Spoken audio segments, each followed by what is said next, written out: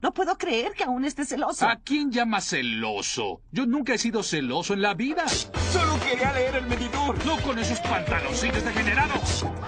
Tanto te gusta porque no te casas con Tom Cruise. Bueno, ya déjala, hijo. ¿Ya?